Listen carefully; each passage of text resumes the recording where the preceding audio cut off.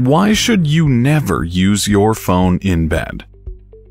Using a mobile phone is an addiction nowadays. Every generation, either children, teenagers, or older, are fond of using phones at night as a last thing, and in the morning as a first thing. No one wants to miss any gossip, trends, or urgent meetings or emails, but have you ever thought that maybe getting attached to your phone like this can affect your body in more than one way?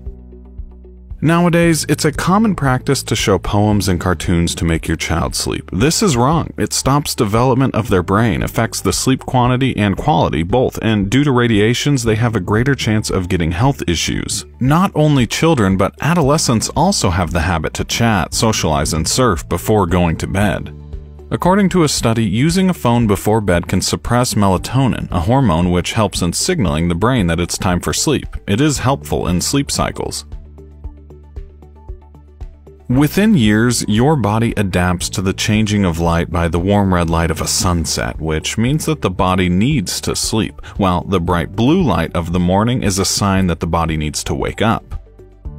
The blue light emitting from phones, laptops, and tablets mimics daylight and suppresses the production of melatonin. Reducing melatonin makes it harder to fall asleep. Instead of melatonin, your body starts to produce cortisol, which is responsible for waking you up. This results in less sleep, making everyone a night owl. That means it takes us longer to fall asleep, and many years of delaying sleep can mess with our internal body clocks. Sleep is very important for everybody when it comes to work, study, and chores. If you aren't getting proper sleep, your whole day is going to be less focused, less energized, and lazy.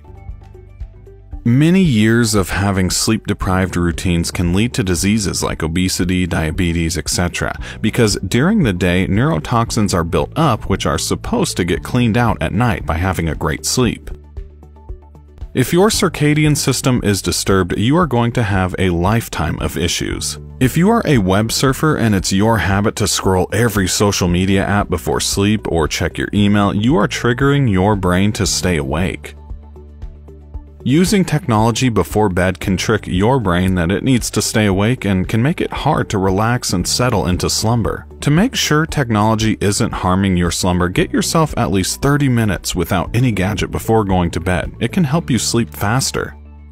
Technology is supposed to make your life easier, but using it before bed is getting you in trouble. It delays REM sleep, deeper levels of sleep, leaving you staring at walls. You have university in the morning, but you aren't able to sleep just because you have scrolled on your phone, thinking of an upcoming project, replying to friends, or making stories in your head of fantasies you just saw on social media. All of this increases anxiety, doubting your emotions, and thinking, leading to released stress hormone cortisol. Your body got into a fight or flight response, and cortisol is released in your adrenal gland to combat these invisible midnight stresses. Many of us have a bad habit of keeping a mobile phone just beside our pillow not only are its radiations harmful, but the beep of a notification, late night messages, or calls can disturb your sleep. You should place your phone far from you while sleeping. We all love socializing, but do it in a way that can't harm your health. So, do you know anyone who is always using their phone? Show them this video and tag them in the comment box below.